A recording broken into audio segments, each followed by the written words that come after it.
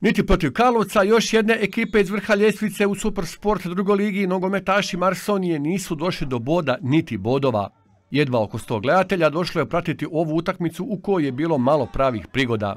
Još su brođani u ovoj utakmici nastupili bez kartoniranih Antonija Ivandića i Tomislava Valentića, kao i ozlijeđenih Davida Sima i Slobodana Milanovića. Tako je trener Josip Parkovinović uz pričunog vratara Gabriela Iličevića na klupi za pričuve još imao Kuša i Teglovića, koje je uveo u igru. S druge strane, gostujući trener Igor Pamić može samo s tri boda biti zadovoljan, ali ne i s igrom svoje ekipe. Svaka čast za tri boda. Ja ću biti bezobrazan i reći, mi smo danas pobjedili jer je Marsonija slava. Ne zato što je Karlovac bio dobar. I to, to je tako, ja imam to svoje mišljenje, moja momčad nije odgovorila nikako. Nikako kad sad gledam zadnju utakmicu Solin gdje je bilo perfektno, danas e, opet pojedinci mlitavo, jednostavno e, neangažirano, e, puno krivih paseva, puno, puno bahatosti u našoj igri, nepoštivanja linija i tako dalje i tako dalje, ali dobro, to ću ja rasjeći sa svojim dečkima. Moram reći ono što sam vidio. Ma u biti oni igraju stalno tako, to on priča, ali igraju stalno tako i mi smo znali kako oni igraju, da igraju čvrsto, tvrdo od zada, oni su u biti jako malo primili golova, ne zabijaju puno, međutim, evo vidjeli ste danas dva šuta po golu, dva gola i to je ono što je možda najveći problem, što smo mi, sve ove utakmice, zadnje tri utakmice smo izgubili, to je svaki šut po golu je gol. To je veliki problem. Cijela utakmica između Marsonije i Karlovca bila je s malo pravih prigoda na obje strane.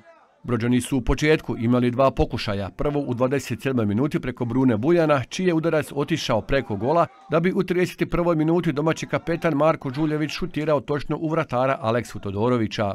Gosti iz Karlovca svojom igrom u prvom polovremenu nisu opravdali visok položaj na prvenstvenoj ljestvici. U samoj završnici prvog dijela i to u 44. minuti gosti su ipak došli do gola iz prve i jedine prigode u prvom dijelu. Iz kornera je ubacio Zvonko Pamić, a pred golom Arsonije najbolje se snašao stoper Ante Bruneta, koji je iz blizine bio pretjezan za 0-1. S tim se rezultatom otišlo na odmor. U nastavku utakmice prva je u prigodi bila Marsonija, kada je u 63. minuti Haris Dilaver dobio loptu od Mihala Bosanca, ali nije bio dovoljno precizan. U svom drugom udarcu prema domaćem okviru gola, Karločani su postigli i drugi pogodak. Asistent kod prvog gola Zvonko Pamić dobio je loptu od Josipa Budimira i poslao ju neobranjevu u mrežu za 0-2. Nakon tog gola domaći su pali, a gosti su imali još jedan pokušaj preko Vlatka Martinovića, koji je u 82. minuti bio u prigodi, ali je domaći čuvar mreže Jozo Vukman to zaustavio, te je završilo s pobjedom gostiju iz Karlovca koji su tako osvojili sva tri boda. Najprije bi se htio zahvaliti njima, stvarno je bila fer i korektna utakmica, pa znali smo da će biti teško, teren na izlet izgleda dobro, mislim, ali skače dosta i lopta i znali smo da će biti malo i šansi, eto mi smo ih iskoristili i idemo sretno kući sa tri boda.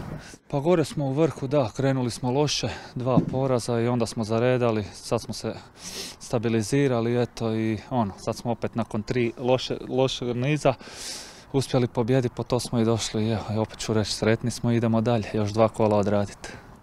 Prvo polovreme nije bilo loše do tog gola, onda u najgore trenutku primimo taj prvi gol i onda na kraju teško se vratiti, pogotovo u ovoj lošoj situaciji kakvi smo. Još su sreće ni sreća, sve se nekak njima odbije i to je to, ne znam kaj bi više rekao uopće. To nam se događa u zadnjih par utakmica isto i svake prilike mi dobimo gola, mi ga ne rovimo nikak zabiti. Testativa protiv Dragovoljca, meni što je bila jednostavno neće u gola, stvarno se sad trudimo i mislim da smo počeli dobro igrati, ali valjda će se vratiti, ne znam sam. Nogometašima Marsonije ostale su još dvije utakmice do zimske stanke. Prvo će se sljedeći vikend gostovati u Zagrebu kod Trnja, a onda na kraju jesenske polusezone na stadionu Stanko Vlanić Dida dolazi posljednje plasirani Jadran iz Poreća.